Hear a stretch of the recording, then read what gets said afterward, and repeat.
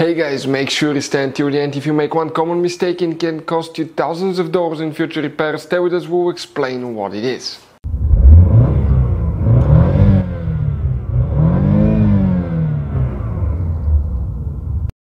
Hey guys, welcome back to Electrical Car Repair Live. Thank you guys for watching and subscribing to the channel. Today will be super helpful video to any of you guys having a GMC Sierra that generation here from year 2007 to year 2013. If you need to find where the fuse for the valve lifter oil manifold is located, which fuse controls the valve lifter oil manifold, where you can buy cheap parts, tools, fuses, relays at a good price, quick shipping, that way do not waste money and time.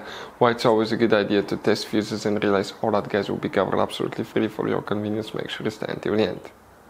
So before we start guys, let us tell you a little bit about us. Every single car we get here at the garage, we try to make at least 2 to 300 free repair videos. We take them completely apart. We show you how to do engines, transmission, mechanical, bodywork, a little bit of everything guys. We have more than 13,000 free repair videos on our channels that can save you thousands of dollars guys in future repairs. We have anything from American to German vehicles, Asian, uh, anything guys. So now, uh, if you need to find, let's say you're in the middle of nowhere, you need to find find a video for a starter fuse or uh, you need to see where the starter relay is located. All we have to do is just come find that on our channel. It'll take you about a minute or two to watch it. You fix it you're back on the road guys. So that's why we're making all these videos for your convenience. So let's go ahead and start on it now. So the fuse for the valve lifter oil manifold, where you can expect to find it. We will guys demonstrate on this generation GMC Sierra right here. Now, you guys have uh, multiple fuse boxes in this GM GMC Sierra, but we're working just one that's under the hood. If you open the hood and you come to the driver's side here, guys, okay, we have the brake pump, the brake fluid reservoir, and you have that electrical box. Open that cover here, and underneath you'll find the main engine fuse box. That will have a layout that will look like this one here.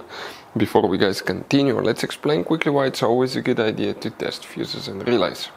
It is guys very important to test fuses and relays. On those fuses you cannot clearly see if they're burnt or not, especially you can see in the J Case fuses as well.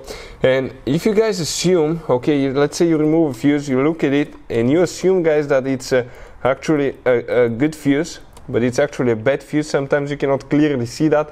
What can easily happen guys at that point, uh, you can uh, uh, put the bad fuse in and you start replacing parts and tools that you don't need to, so you lose your time, you lose your money to fix a problem that doesn't exist when all we had to do is test the fuse and replace it. We'll put a link to a special video that will teach you how to test fuses, how to check relays very easily as well guys. So uh, check it out, it will be in the description of the video below. So the valve, valve lifter oil manifold fuse, where you can expect to find it it, is just one fuse. Oh, by the way, if you need to buy any fuses, relays, parts, tools for GMC Sierra or any car at a really good price, quick shipping, we'll put the links in the description of the video below for your convenience, that way do not waste money and time. The valve lifter oil manifold fuse, we need to come right here in that section.